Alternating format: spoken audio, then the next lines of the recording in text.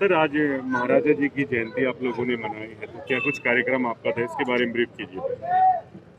आज पूरे भारतवर्ष महाराजा अग्रसेन जी की जयंती बना रहा है और महाराजा अग्रसेन जी जिस उद्देश्य को लेकर चले थे उन्होंने अपने राज्य का कैपिटल सिंबल भी जो रखा था वो एक ईट और एक रुपया रखा था।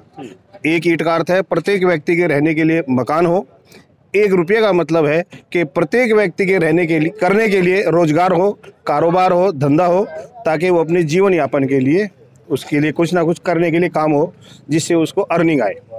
आज प्रत्येक सरकार का भी यही कर्तव्य बनता है कि वह प्रत्येक आदमी के रहने के लिए मकान की व्यवस्था करे और प्रत्येक आदमी के लिए कारोबार की व्यवस्था करे। अब हमारे महापुरुष, महर्षि भगवान, हमारे पूर्वज भगवान महाराज अग्रसेन जी ने इस उद्देश्य को लेकर शुरुआत करी थी। तो आज हमारे समाज का तो सबसे बड़ा ये कर्तव्य बनता है कि हम प्रत्येक ऐसे कार्य करें कि समा, बाकी समाज के प्रत्येक व्यक्ति के लिए हम रोज़गार उत्पन्न करें। और यही हमारा जयंती बनाने का आज, यही सिंबल देने का ये संदेश देने का पूरे समाज को यही है कि हम इस प्रकार के कार्य करें कि हमारे द्वारा किए गए कार्य को से समाज के प्रत्येक व्यक्ति को रोज़गार मिले ताकि वो अपना जीवन यापन कर सके। महाराजा अग्रसेन जी की जयंती जी, मनाई जी। इस मौके पर आगे आने वाली पीढ़ी को समाज को क्या संदेश आप देना चाहेंगे इस मौके पर? जी। महाराजा अग्रसेन जी जो हमारे पूर्वज थे उन्होंने सबसे पहले समाजवाद का जो सिद्धांत है उसको अमली जामा पहनाया था। ये जो एक ईट और एक रुपए की जो बात है उससे उनका अभिप्राय ये था कि समाज में उनकी जो प्रजा है, उनके जो लोग हैं, वो सभी समान रहे, आर्थिक रूप से भी, सामाजिक रूप से भी। तो जो समाजवाद का सिद्धांत सारी दुनिया ने बाद में सभी देशों ने अपने संविधान में जो इसको अडॉप्ट करके आगे बढ़ाया है, वो महाराजा अग्रसेन जी महाराज जी की जो हमारे पूर्वज थे, उनकी ही देन थी। और हम ये विश्वास करते हैं कि भविष्य में भी अंतर्राष्ट्रीय स्तर पर जो सरकारें हैं और हमारे देश में विशेष तौर से इस सिद्धांत को जो है वो लागू किया जाएगा। इसका पूर्ण रूप से जो है उसको इम्प्लीमेंट और एग्जीक्यूट किया जाएगा ताकि समाज का इसमें निर्माण हो सके हित हो सके। महाराजा जी की जयंती है। जैसे भी प्रधान जी बता रहे थे कि समाजवाद को लेकर काफ़ी महान कार्य उन्होंने किए थे।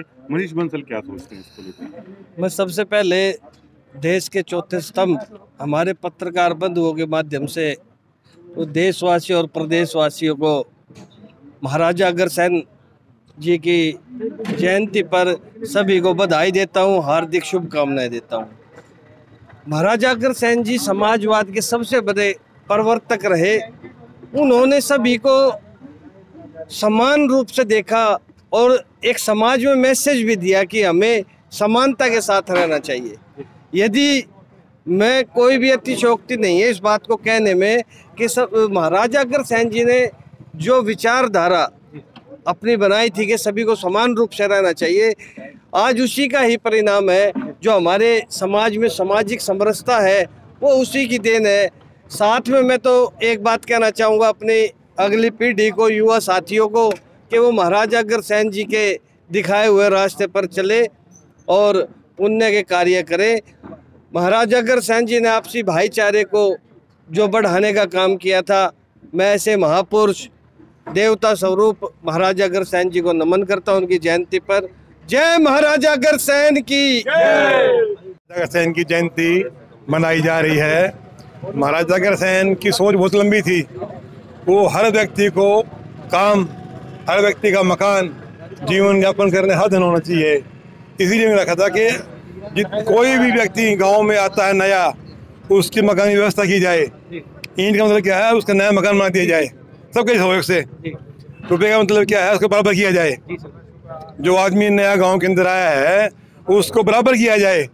धन संपत्ति से काम से रोज़गार से मकान से बराबर किया जाए। यही मतलब था एक ही एक रुपये का हर आदमी जो है एक घाट से पानी पिए चाहे बकरी हो चाहे शेर हो।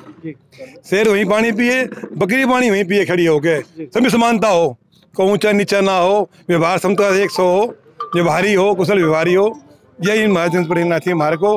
हम इसी हम चलने की कोशिश कर रहे हैं कि हम जो है अपने रोज़गार में अपने कारोबार में अपने काम में सबको जो है बराबर लेके चले। महाराजा अग्रसेन जी की जयंती पर हार्दिक शुभकामनाएँ और सभी को बधाई।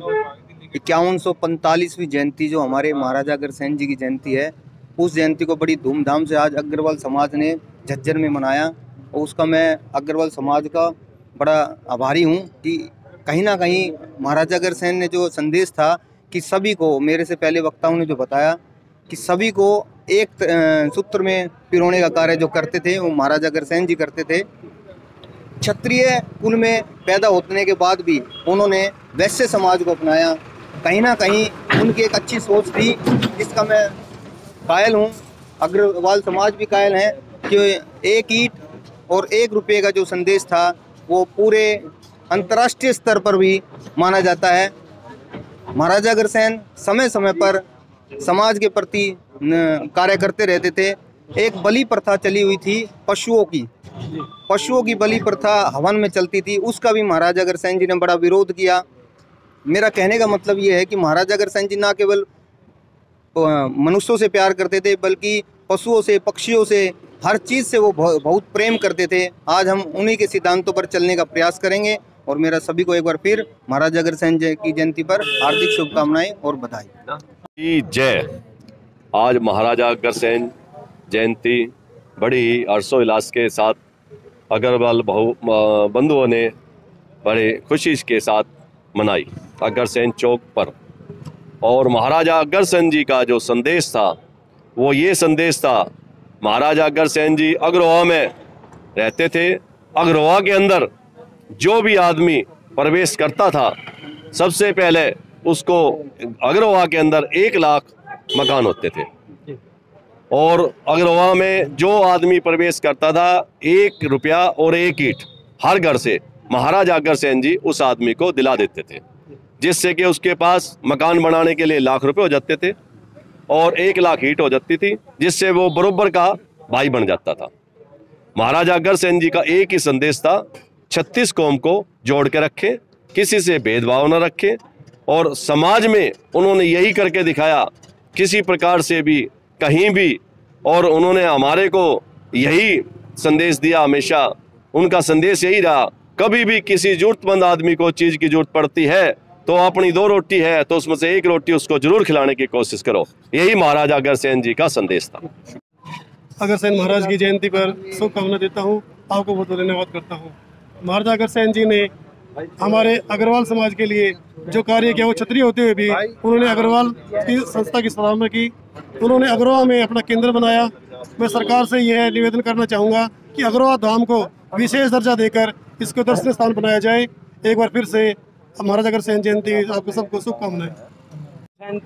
महाराजा अग्रसेन की जयंती के उपलक्ष्य में मेरी तरफ़ से हार्दिक बधाई एवं हार्दिक शुभकामनाएँ। मैंने मैंने संकल्प लिया है कि मैं महाराजा अग्रसेन जी के नक्शे कदम पर चलूँ। जय महाराजा अग्रसेन संकल्प लेना है कि हमें, हम सब अग्रवाल भाइयों को इकट्ठा एकजुट संकल्प लेके आगे बढ़ना है। साथ हमें समाज को एक जुटता के साथ आगे बढ़ाना है और हमारे को न्याय प्रणाली में भी सरकार का साथ देते हुए सहयोग करना है। धन्यवाद। महाराजा अग्रसेन की जय।